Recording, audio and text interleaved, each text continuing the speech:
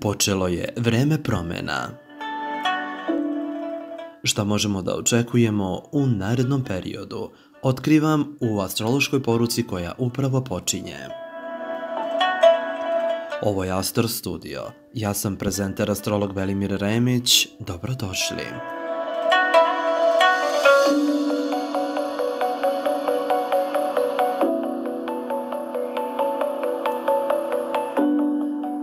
Sezona eklipsi deli godinu na dva dela, aktivira događaje i donosi novi energetski obrazac.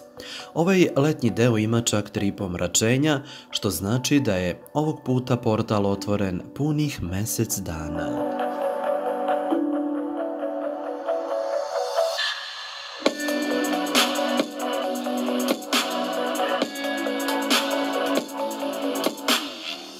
Snažan energetski snop donosi novo i potiskuje staro. Neke duše odlaze, a nove dolaze. Nešto počinje, a nešto se završava. Sve se odvija brže i brže.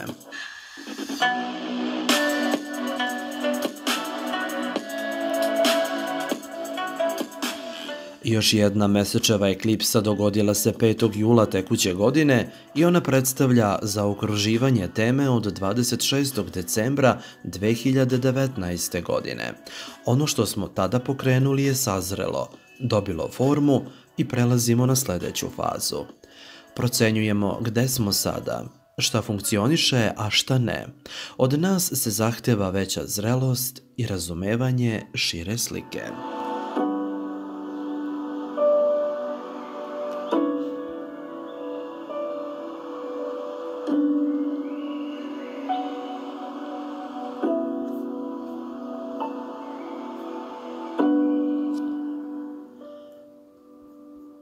Pun mesec donosi osvešćivanje. To je tačka preokreta i osnaživanje energije. Planeta Saturn 1. jula vratila se u znak Jarca. Traži se od nas da shvatimo ozbiljno sve na ličnom nivou i da preuzmemo odgovornost za ono što se dešava. Zahtjeva se od nas uporan i posvećen rad, disciplina, samopoštovanje i integritet. Pojavit će se novi osjećaj šta je normalno, a šta je potrebno.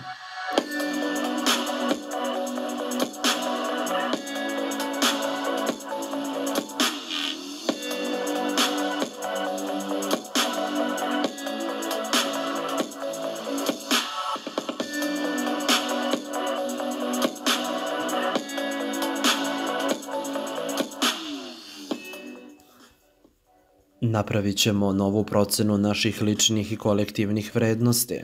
Promjene se dešavaju kako na mikro, tako i na makroplanu. Potrebno je da formiramo nova uverenja i na osnovu njih napravimo izbore koje ćemo slediti kroz narednu fazu rasta.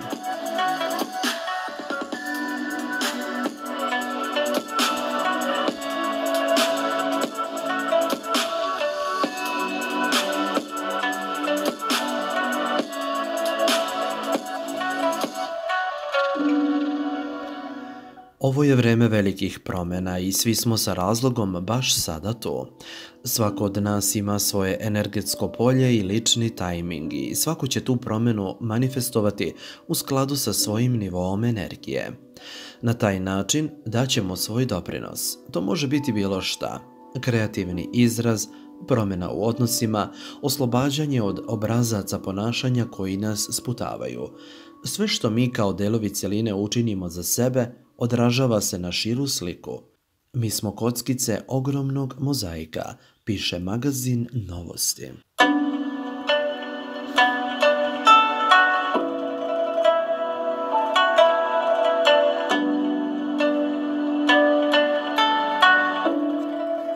Podsjetimo se puta koji je Mars prešao do sada – Sredinom februara 2020.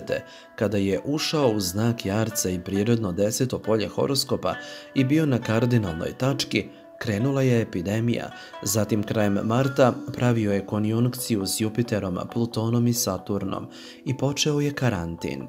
Mars je ušao u znak ovna 28. juna tekuće godine i tu će biti do Božića 2021. godine.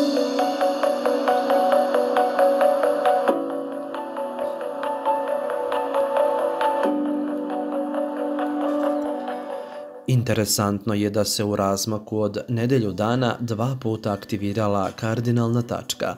Pomračenje sunca 21. juna u raku, ona je poznata još kao osa sveta. Na njoj počinju kardinalni znaci i nosi veliki potencijal za promene. Ključna reč je odluka. Uradit ću to, sledit ću to, neću više da čekam, neću da odlažem svoju sudbinu.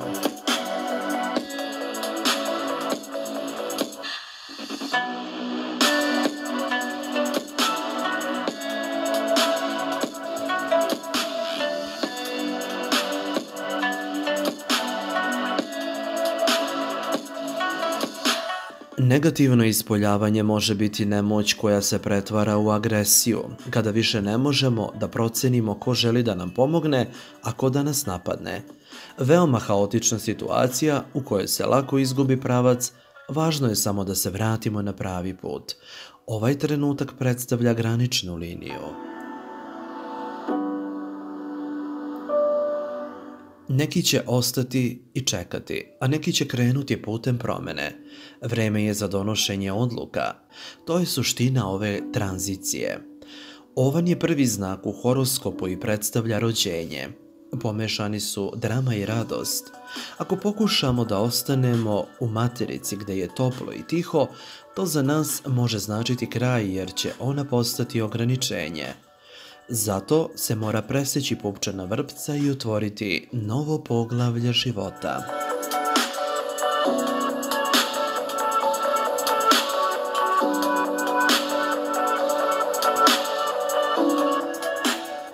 Mars u ovnu tokom jula donosi sasvim drugačiju energiju, kao kada prekidač prebacimo sa off na on.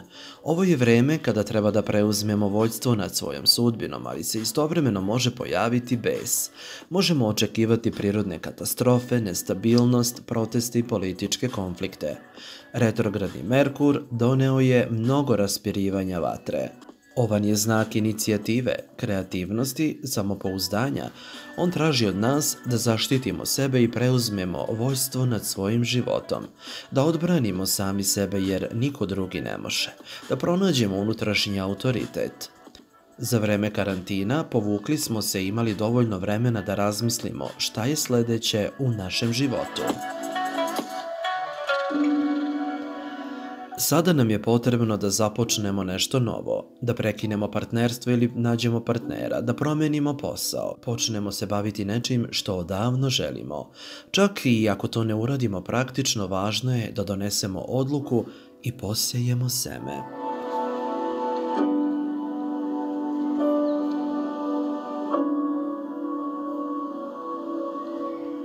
Sinhronizovali smo se i nekim čudom svi u isto vreme shvatili da je sada pravo vreme za promene.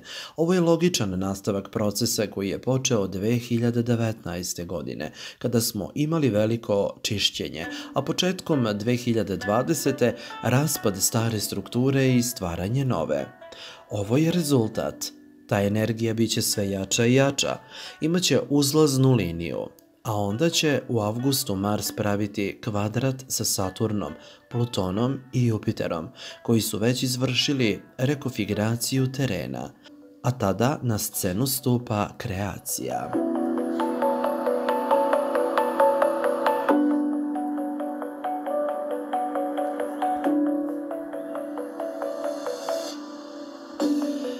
Poštovani slušaoci, prepustite se promjenama.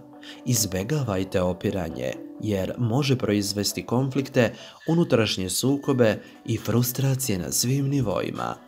Tranzitni Mars je u ovnu, u prvom polju prirodnog horoskopa. Tri planete su u Jarcu, Jupiter, Saturn i Pluton u desetoj kući prirodnog horoskopa. Bližimo se kardinalnom kvadratu na nebu. Prepustite se tečenju života, napravite životni planer – i sa snažnom verom nastavite dalje.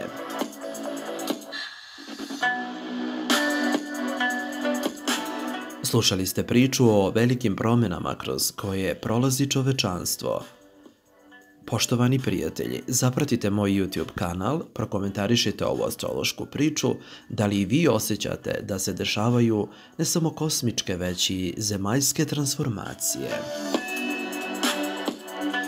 Ukoliko želite zakazati lično tumačenje horoskopa ili kupiti moje četiri knjige, Viber kontakt telefon je plus 381 6377 491 33.